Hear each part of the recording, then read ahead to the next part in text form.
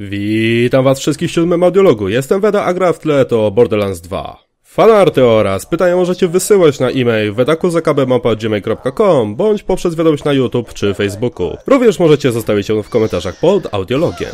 Na dzień dobry porozmawiamy o livestreamie, który moim skromnym zdaniem był zacny. Przeszliśmy dwie inne historie z amnezji, pograliśmy trochę w The Binding of Isaac oraz rozpoczęliśmy rozgrywkę z Eve, którą zakończyliśmy Chillout Time'em z serią Q&A. I wiem i rozumiem was, czwartki nie zawsze będą wam pasować i szczerze mówiąc wolałbym prowadzić e, livestream w piątek lub w sobotę, ale dopóki pracuję od piątku do poniedziałku, musimy to wszyscy przeboleć. Ach i wiem, że spotkam się z niezadowoleniem, ale nie będę już rzucać pełnych filmów z livestreamu. Od teraz będę wycinać co fajniejsze momenty i wrzucę je jako krótki filmik. Jednakże na Twitchu będą zapisywane całe livestreamy, przynajmniej te ostatnie, by każdy mógł sobie obejrzeć, co ostatnio się u nas działo. Zwyczajnie wejdziecie tam na mój kanał i przejrzycie sobie filmy.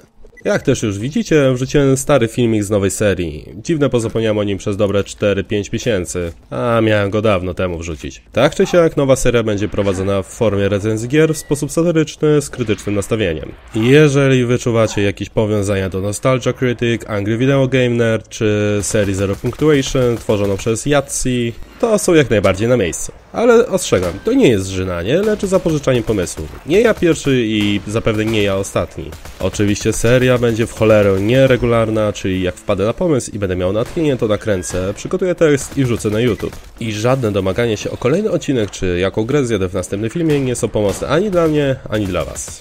Tyle, jeżeli chodzi o przedstawienie nowej serii. Dodatkowo w tym audiologu chciałbym poruszyć bardzo ważną rzecz dla mnie jako gracza i miłośnika MMORPGów. Każdy wie, każdy zna, każdy słyszał o Star Wars The Old Republic oraz o tym, że jest możliwość grania free to play. Jednakże nie podoba mi się to, co twórcy zrobili z wersją free to play. Jest cholernie ucięta, nie daje pełnej możliwości nacieszenia się grą, chyba że zabolicie za wersję premium. Najbardziej co mnie boi w takim sposobie pogrywania sobie z graczami jest odbieranie im przyjemności z grania.